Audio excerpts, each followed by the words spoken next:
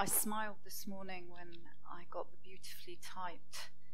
Um, I want to call it agenda. It's not. It's the the order of service, if you like, that all the service leaders prepare before a service, and I've done it myself, usually on a scrap of paper, handwritten. But the beautifully typed one this morning comes with a disclaimer, and it says at the bottom, "We reserve the right to change any of the above." At extremely short or no notice as the Holy Spirit leads and directs. This in no way affects your statutory rights as a visitor or regular member of Christ Church. Now, those of you who know me well will know that very often when I've spoken in the past, the Lord has given, us, given me a message at home and I've written it all down and I get here and He goes, No, I don't want you to say that. So, the same disclaimer the notes that are going out to the small group leaders may or may not represent what's written down. So, we'll see how we go. But, you know, praise and glory go to the Holy Spirit. This is about Him and not about me. So, I want to um, just start by saying that a lot of what has already been said will be duplicated and repeated. I think it would be impossible to go through the week we've been through without mentioning the referendum. It's been so in our face. You know, there is other things going on in the world, but it's been in our face this week. And it's been a historic week in the UK as far as politics is concerned, a week where we were given a choice. In, um, in time, it will determine the future of our country, the choice that has been made. And I, like many of you, struggle to see a way through some of the arguments for and against staying in the EU. Mostly, I have to say, because of the behaviour of the people who were leading the campaigns on both sides. Um, there were so many lies, there was confusion, there was aggressive argument, and the rest of Europe looked on in disbelief. In fact, the whole world probably looked at the UK and thought, what on earth is going on? It was ugly. It was ugly. Um, I made my decision. I went to the community centre, cast my vote, job done. The rest is history. And the future looks uncertain and confusing for some, while for others, there is a view of opportunity and a brighter future. And I think what Glyn said and read this morning mirrors how I've been feeling since the result came out that people who I have respected as Christian friends have posted on social media some really horrible stuff and it's there for everyone to see, and that bothers me. Life's full of choices. Every day, from the minute we wake up, we're making choices. Some of them we don't even realize are a choice. We get up, you know, what time do we get up? What do we wear? What do we eat for breakfast? At other times, the decisions we make are momentous. They have far more impact. They will affect us, they will affect other people. The referendum was just one of those. You can think about what career path do you want to take, who to marry, when to have children, becoming a Christian. Huge decisions that have an impact. And the reality is, we don't know what is going to happen in any given situation, ever. We don't know if the vote had gone the other way, what the future would have been. We can imagine what it was like, but we don't really know, and we don't know what it's like now, really. We just don't know. We can make certain assumptions. I can assume I'm going to get up tomorrow and I'm going to drive to Hitchin and I'm going to go to work. We can make plans like when we're going to go on holiday. But we live in an uncertain world. There are no guarantees. We have right here, right now. That's what we have. Right here, right now. So, for the second time this week, I found myself in a position where I've made another momentous decision. I've decided I don't want to be labelled as a Christian. And as we look at the passage today, I'll explain to you why I've made that decision. Okay. Luke chapter 9. If you read it in its entirety, it's like a blockbuster movie if you've got a Bible that has subheadings, they go like this. Jesus sends out the 12, Jesus feeds the 5,000, Peter declares that Jesus is the Messiah, Jesus predicts his death, the transfiguration, Jesus heals the demon possessed boy, Jesus predicts his death a second time, Samaritan opposition, and the cost of following Jesus. That's a lot for one chapter, right? All those things in Luke chapter 9. There is so much in there. But I'm going to start slightly ahead of where Bob read for us. I'm going to start in verse 44. So, verse 44 reads, if I can find it, I'm in the wrong book, bear with.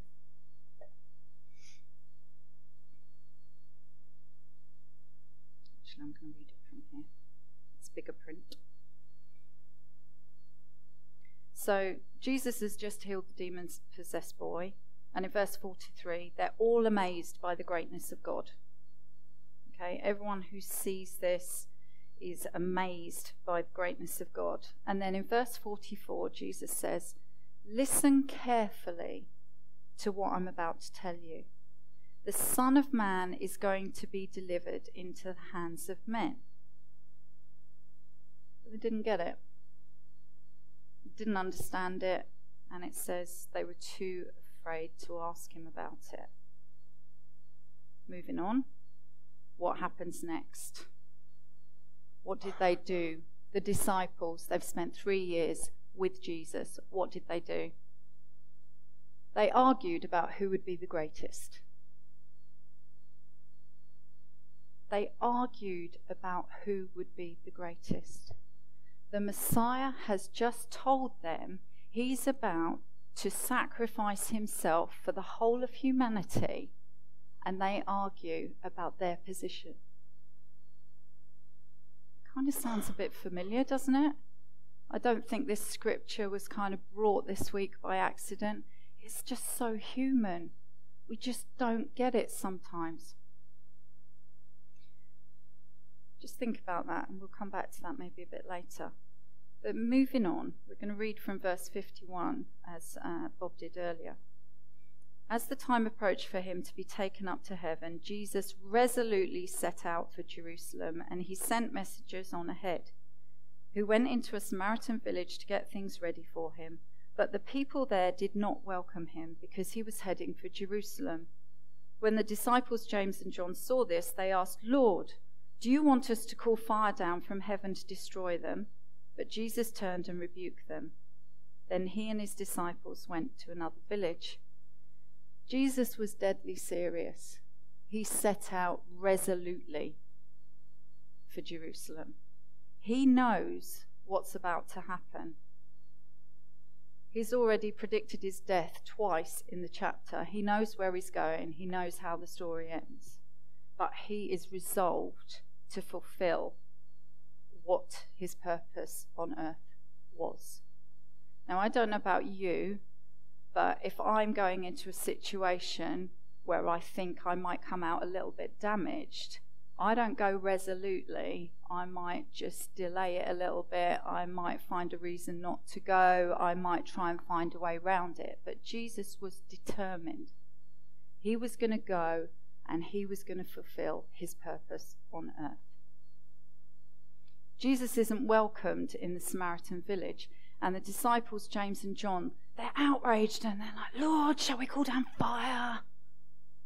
Now, when I read this, it reminds us of Elijah calling down fire in 2 Kings chapter 1. I think the difference here is in the Old Testament, when Elijah called down fire, he brought it down to prove who God was, is. In this story, to me, it was about a spirit of retaliation. God was with them. Jesus was right there. If he wanted to strike them down, he could do it like that. Are they still trying to vie for position? Is that argument still going on? Is that what their focus is on?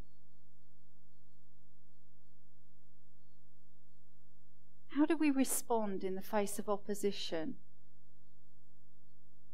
opposition causes division, and we've seen that through social media. We've referred to it already this morning.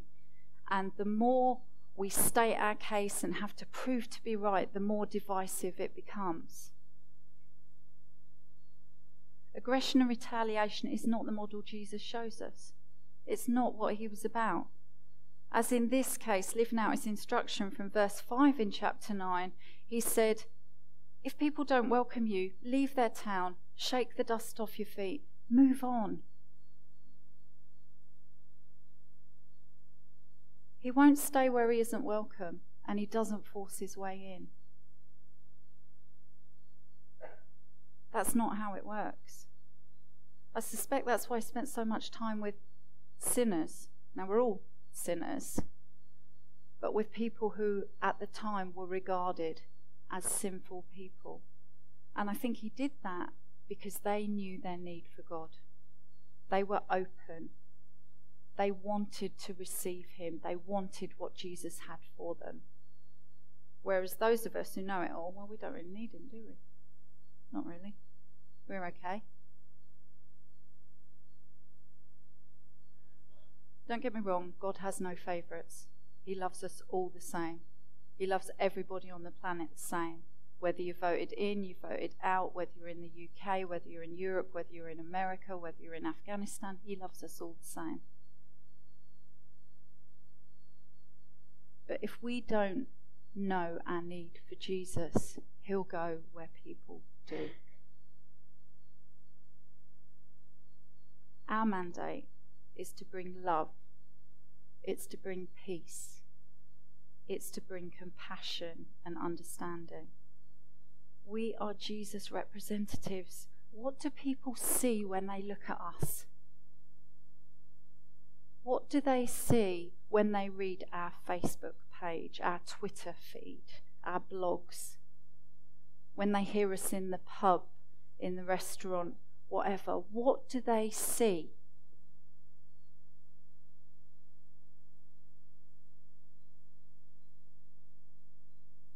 Carry on. Verse 57. As they were walking along the road, a man said to him, I will follow you wherever you go. Jesus replied, Foxes have dens and birds have nests, but the Son of Man has no place to lay his head. He said to another man, Follow me. But he replied, Lord, first let me go and bury my father. Now, when you read that, you think, well, that's not an unreasonable request.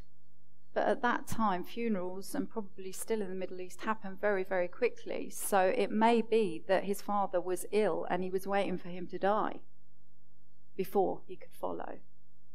We don't know. Jesus' response Let the dead bury their own dead, but you go and proclaim the kingdom of God. Still another said, I will follow you, Lord, but first let me go back and say goodbye to my family. Jesus replied, No one who puts a hand to the plough and looks back is fit for service in the kingdom of God. Whenever I read that particular verse, I always think of the song I have decided to follow Jesus. No turning back. You know the one? I've been singing it in my head since yesterday. The cross before me, the world behind me. I know physically I have the cross behind me. It's a very powerful image. Follow me, Jesus says. How quickly do we respond? If we have a call on our lives, how quickly do we respond? Let's just contrast those responses with the call for the uh, the first disciples back in uh, Matthew chapter four. As Jesus was walking beside the Sea of Galilee, he saw two brothers, Simon called Peter and his brother Andrew, and they were casting a net into the lake, for they were fishermen. Come follow me, Jesus said, and I will send you out to fish for people. At once they left their nets and followed him. At once they left their nets and followed him. Going on from there, he saw two other brothers, James, son of Zebedee, and his brother John. They were in a boat with their father Zebedee, preparing their nets, and Jesus called them. And immediately they left the boat and their father and followed him. James and John. They heard the call, they responded immediately. But we've already heard after three years of being with Jesus, with the Messiah, they're arguing. They're talking retaliation.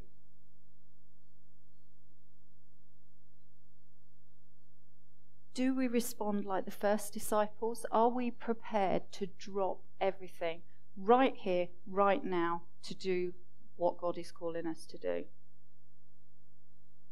Or are we going to delay? Are we going to put up barriers? Are we going to make excuses, as the men detailed in Luke? Are we going to prioritize stuff? Is it about stuff? Is it about, well, when I've got enough money, I'll do that? Is it about putting other things first? Well, you know, my family, my friends, my job. We live in a world obsessed with self obsessed.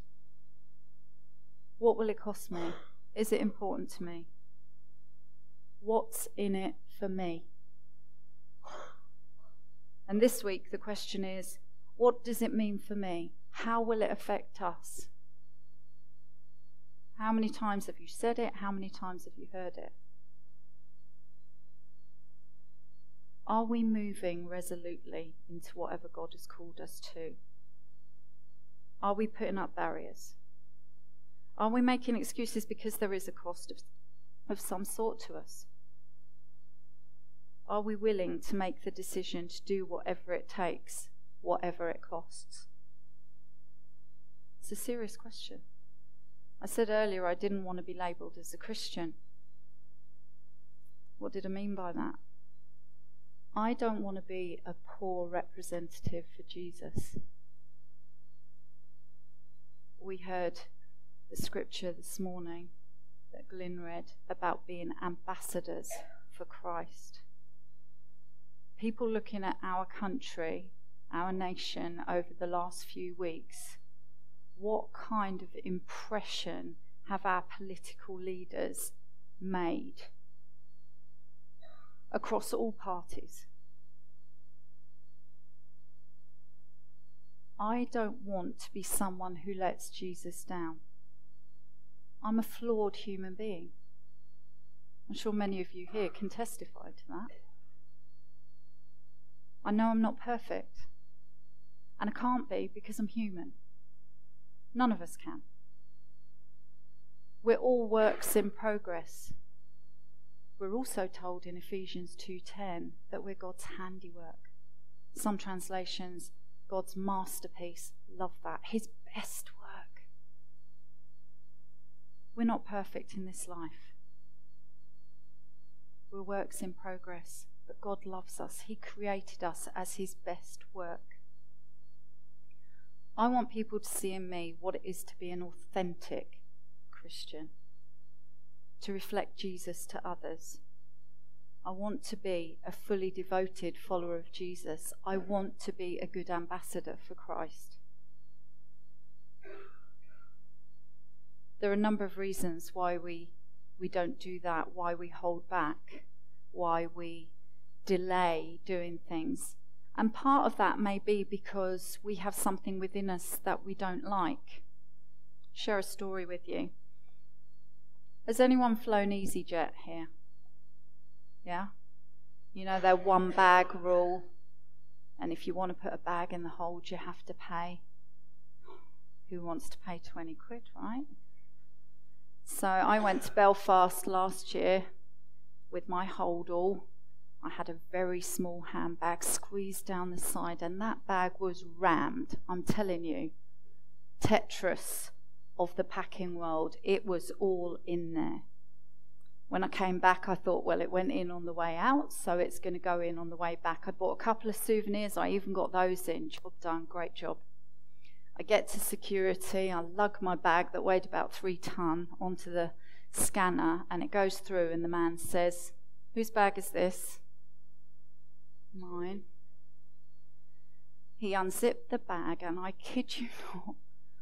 Now, bearing in mind, I've worn all these clothes, all of them, even the you know, the little ones, and my clothes and my shoes and my was everywhere because I had bought a stainless steel milk churn, which had shown up on the scanner, which I cleverly put in my trainer, which was at the bottom of the bag.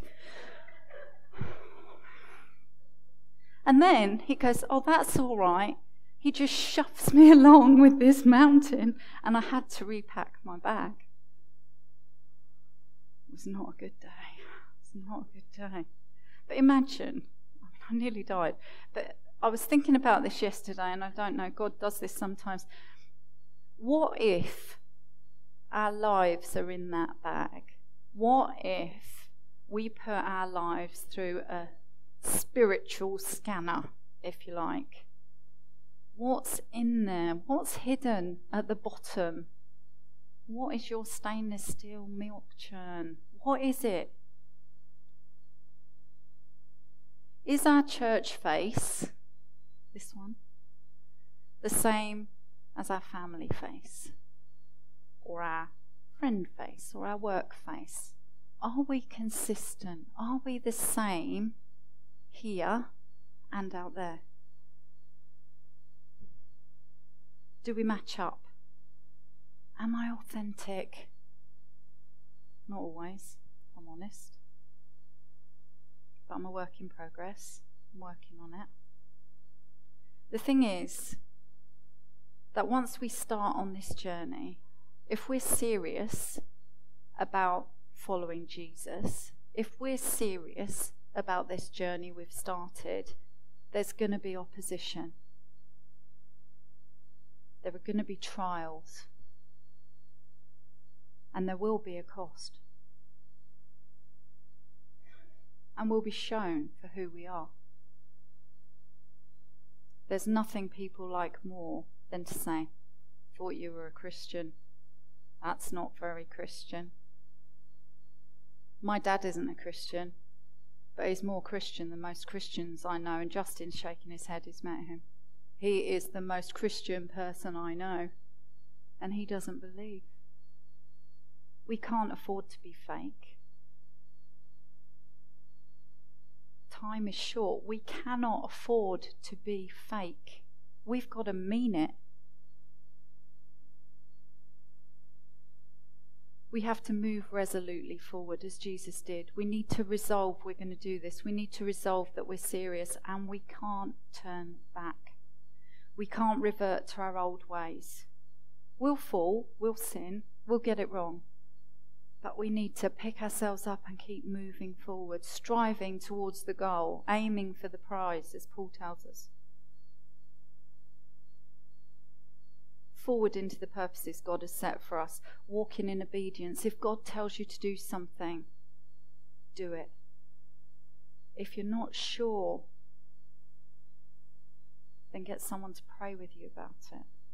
Because God will confirm his call on your life. I have absolutely no doubt about that.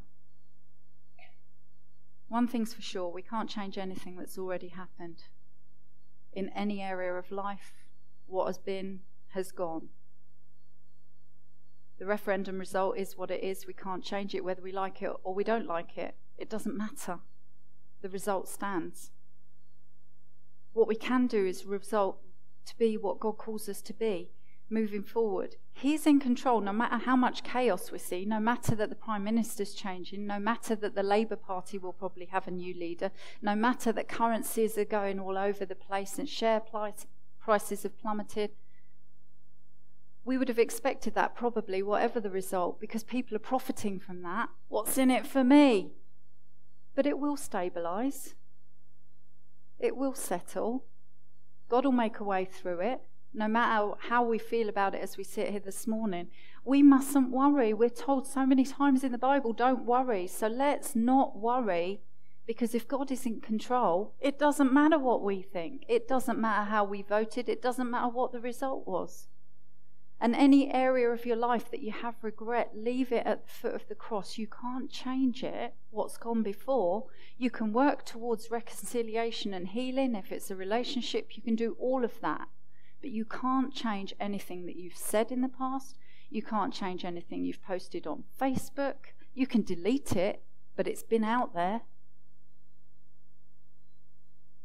when we leave here today, we need to be very careful what people see when they look at us. It's a confused world out there. There's no certainty with what's going on in different places Paris, Brussels, Tunisia, Egypt, Afghanistan, you name it, Orlando. We have no guarantees. It could be Luton Town Centre, it could be Bushmead, it could be Christchurch that's in the news for all the wrong reasons. We have right here, right now. Life's short, it's a blink.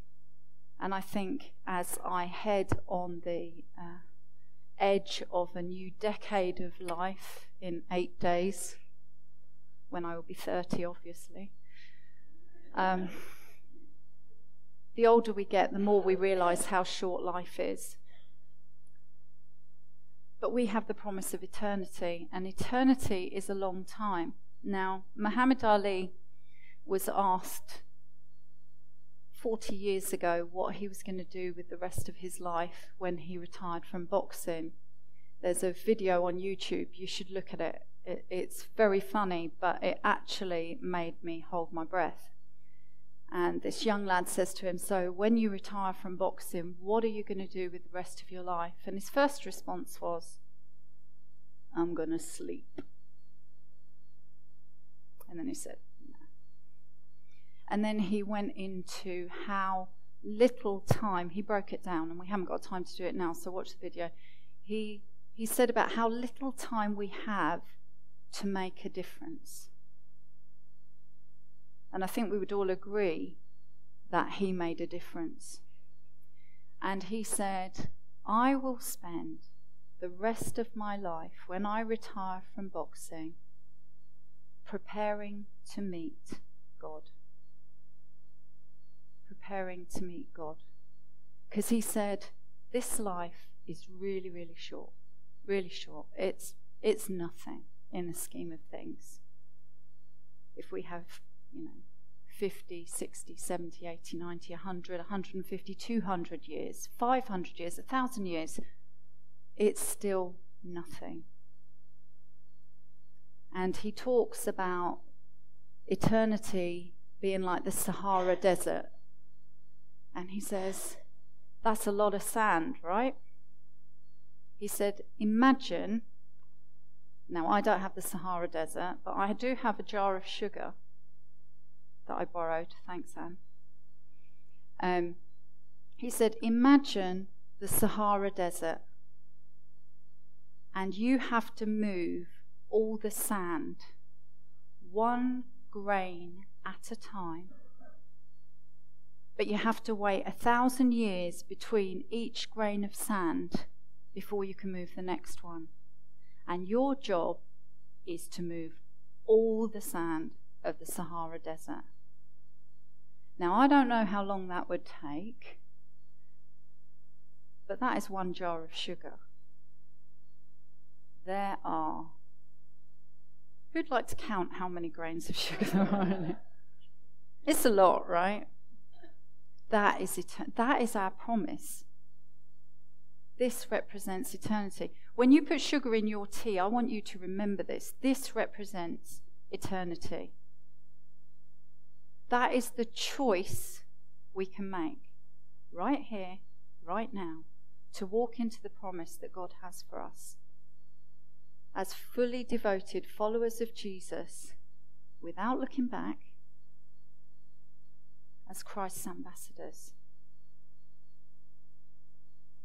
This is our moment to rise and shine, to be fully devoted followers of Jesus, whatever it.